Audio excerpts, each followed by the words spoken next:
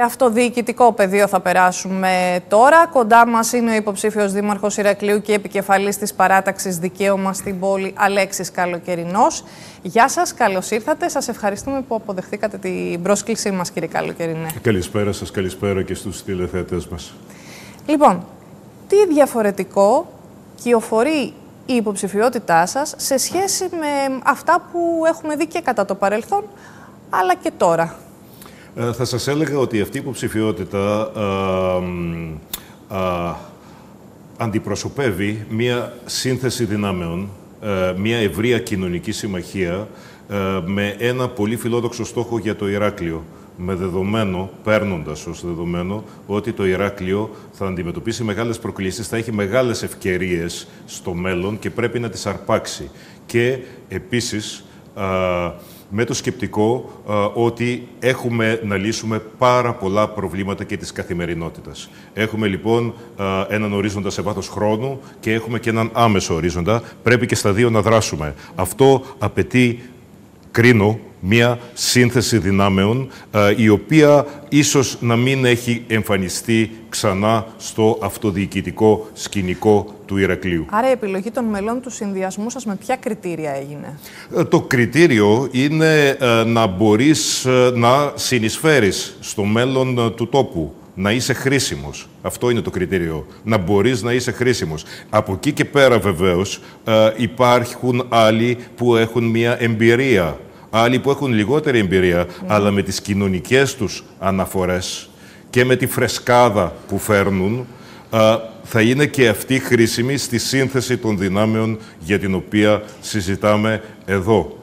Μπορεί ένας δήμαρχος, κύριε Καλοκαιρινέ, να είναι υπερκομματικός και να βάλει στην άκρη τέτοιου τύπου διαφορές; Σίγουρα μπορεί να είναι υπερκομματικός. Ε, και αυτό ε, το ζω στην πράξη και το ζούμε στην πράξη. Αυτή τη στιγμή που μιλάμε, κυρία Σαλαπάτα, υπάρχουν άνθρωποι γύρω από ένα τραπέζι που βάζουν τις πινελιές ενός προγράμματος, που θεωρώ ότι είναι πολύ δουλεμένο πρόγραμμα και προϊόν διαβούλευσης, οι οποίοι έχουν διαφορετικές πολιτικές αναφορές. Γιατί στο πεδίο της αυτοδιοίκησης, γιατί για την πόλη μας, για το σπίτι μας δεν μπορούμε να συμφωνήσουμε σε μία σειρά αρχών και στόχων και να τους υπηρετήσουμε μαζί. Γιατί θα μας εμποδίσει η κομματική αναφορά σε αυτό.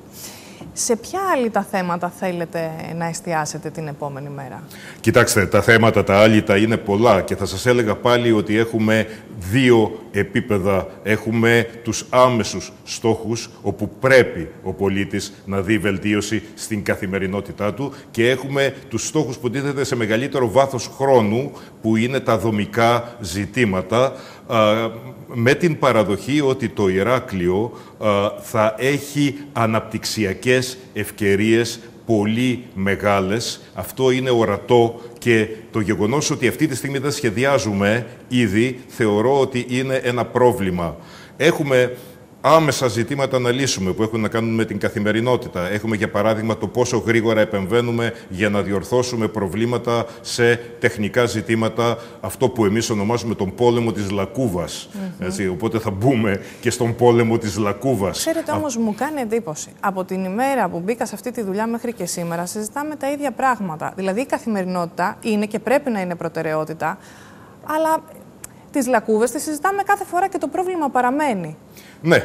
Ε, άρα λοιπόν το πρόβλημα αυτό θα πρέπει να λυθεί. Και ξέρετε, θα πρέπει να λυθεί σε όλη την έκταση του Δήμου. Εμείς δίνουμε ιδιαίτερη έμφαση στις γειτονιές. Διότι θεωρούμε ότι έχουμε εστιάσει υπερβολικά την προσοχή μας στο κέντρο. Όχι ότι θα παραμελήσουμε το κέντρο, όχι ότι το κέντρο δεν έχει προβλήματα. Έχει σαφέστατα ε, σοβαρά προβλήματα. Αλλά οι γειτονιές θεωρώ και θεωρούμε στο δικαίωμα στην πόλη ότι είναι παραμελημένες. Και αυτό αφορά όχι μόνο τις γειτονιές, αλλά αφορά και την ευρύτερη το περιφέρεια περιαστικό του Ηράκλειο Δήμου. η ενδοχώρα έχει αναπτύξει τη δυναμική που ίσως θα έπρεπε, θα, της άξιζε. Θα έλεγα ότι έχει ένα μεγάλο δυναμικό και δεν έχει αναπτύξει την δυναμική που του αντιστοιχεί. Και εδώ πάλι α, θα μιλήσουμε για ευκαιρίες τις οποίες πρέπει να αρπάξουμε και για πλεονεκτήματα τα οποία θα πρέπει να αξιοποιήσουμε. Το Ηράκλειο έχει καταπληκτικά πλεονεκτήματα και είναι κρίμα να μένουν ανεκμετάλλευτα για λογαριασμό των ανθρώπων ακριβώς που το κατοικούν και το ζουν. Σας έχω ακούσει να λέτε ότι ο Δήμος πρέπει να έχει το δικό του όργανο παρατήρησης για την καλύτερη ανάλυση των δεδομένων. Είναι κάτι στο οποίο θα προχωρήσετε, να μας το εξηγήσετε λίγο αυτό, πώς ε, θα δουλέψει; Ε, κοιτάξτε, ε, εδώ ε, έχουμε έναν συνδυασμό από εργαλεία. Υπάρχει ήδη το δημοσκόπιο που έχει αδρανοποιηθεί, θα το επανανεργοποιήσουμε διότι είναι ένα καλό εργαλείο. Αλλά δίπλα αυτό το οποίο σκοπεύουμε να φτιάξουμε είναι το λεγόμενο ΚΑΜΙ, το Κέντρο Αστικού Μετασχηματισμού του Ηρακλείου, το οποίο τι είναι; Είναι ένα πολύ ευρωπαϊκό, θα σας έλεγα, όργανο αυτό. είναι ένα όργανο διαβούλευσης με τους φορείς, με τα επιμελητήρια, όπου θα συναντιούνται άνθρωποι, θα δημιουργούνται δεξαμενές ιδεών και αυτές θα προωθούνται, αλλά με πολύ συγκεκριμένα σχέδια πια για να πραγματοποιηθούν. Και από εκεί και πέρα βεβαίως έχουμε και άλλα εργαλεία, τα οποία θα αξιοποιήσουμε. Δεν θα τα φτιάξουμε όλα από το μηδέν.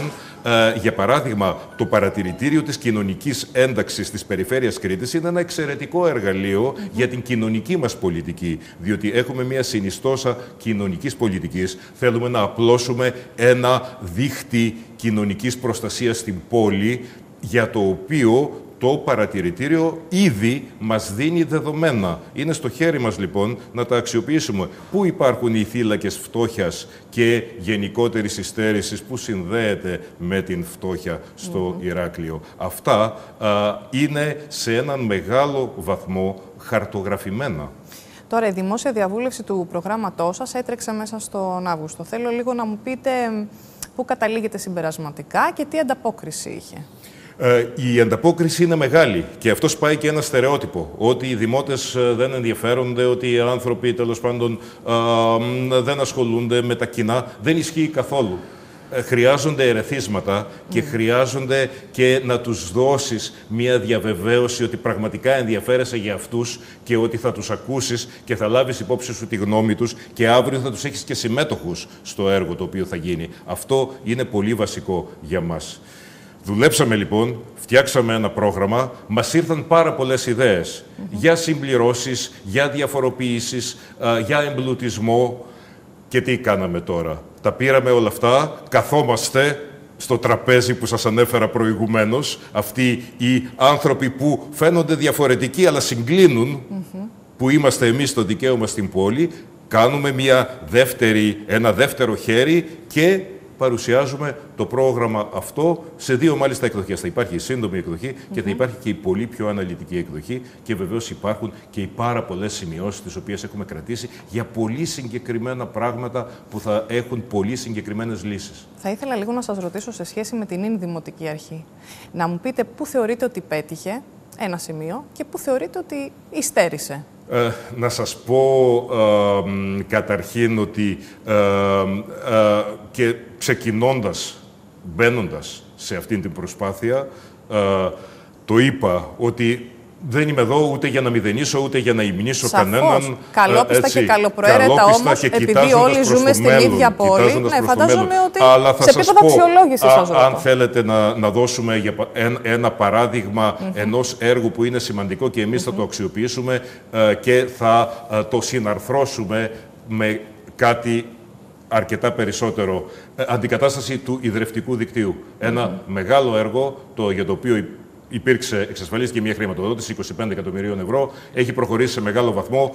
Ε, θα το τελειώσουμε προφανέστατα. Θα το συνδυάσουμε με αυτό που επίσης έχει προβλεφθεί, δηλαδή τα έξυπνα υδρόμετρα. Αλλά από εκεί και πέρα, για να φτάσουμε σε αυτό το οποίο θέλουμε, που είναι το τρεχούμενο πόσιμο νερό ε, για όλον τον Δήμο, έχουμε αρκετό δρόμο να κάνουμε, διότι υπάρχουν και περιοχές στις οποίες το δίκτυο δεν έχει επεκταθεί και βεβαίως πρέπει να εξασφαλίσουμε το πρόβλημα της τροφοδοσίας, το οποίο γνωρίζουμε όλοι ότι είναι οξύ και κινδυνεύουμε, εάν ε, δεν μαζευτεί περισσότερο νερό στον Αποσελέμη, το Δεκέμβριο να είμαστε χειρότερα ε, σε μια κατάσταση στην οποία δεν θα θέλαμε καθόλου να βρεθούμε. Τώρα, θέλετε να σας πω και ε, ένα μειονέκτημα θα έλεγα ότι αυτό το οποίο πιστεύω ότι έλειψε από αυτή την δημοτική αρχή είναι ο συντονισμός Και αυτό, ξέρετε, έχει να κάνει και με την προτεραιοποίηση. Είναι πολύ σημαντικό να θέτει συγκεκριμένες προτεραιότητες